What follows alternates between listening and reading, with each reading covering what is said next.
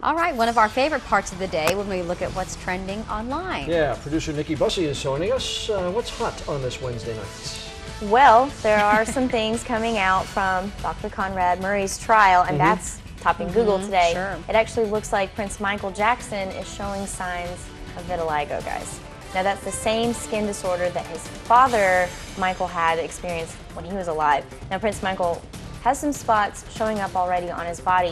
Jermaine Jackson talked about it on Extra, saying that it was proof that the kids were actually Michael's. You know, people were talking about, you know, possibly they weren't. But Jackson says he's blaming Murray for uh, Michael's death there. Jermaine is. Jermaine.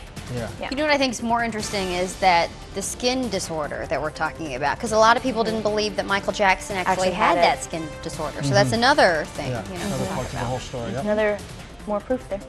Now, Johnny Depp took a break from his busy filming schedule to make an apology.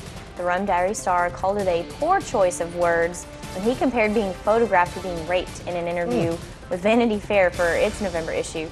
He said he doesn't like photo shoots because they make him feel dumb. And now the, the Rum Diary actually hits theaters on October 28th, and Depp also has another three pictures in the works Well, he's aside very, from that. he's very reserved.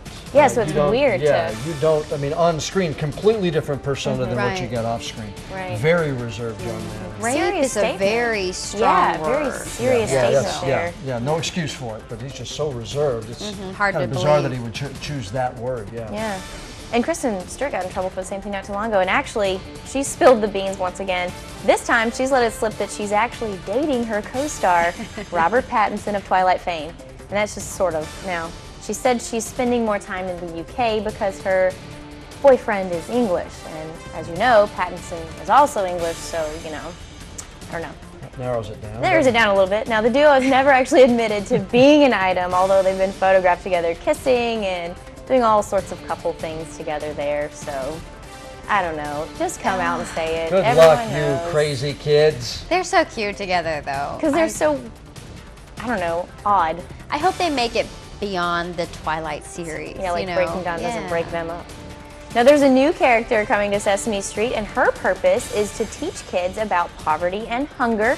Lily will join the cast this Sunday for a special show. She's going to talk about insecurity over whether her family will have enough to eat, and the puppet actually goes to the pantry for food and also volunteers there. Country star Brad Paisley is going to host the special, which is called Growing Hope Against Hunger.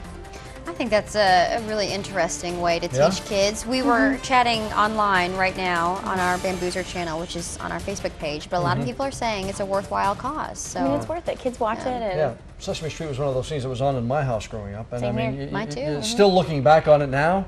I mean, some of the ways that you learn how to, you know, some of the ABC, some of the ways you Counting. count, uh, some of those other things, and some of those jingles and, and the messages that come through stay with you even today. Uh, Rob talks about, you know, like the vampire, the count. You can hear Rob Count. talking, even doing that now. you should hear it. Yeah, see, Rob still has it, so it's it's all, you know, if it's done the right way, I think it will be a worthwhile. Well, and Yeah. a lot of celebrities consider it a huge um, point in their career to be invited to be Yeah. on Sesame Street. and Sure.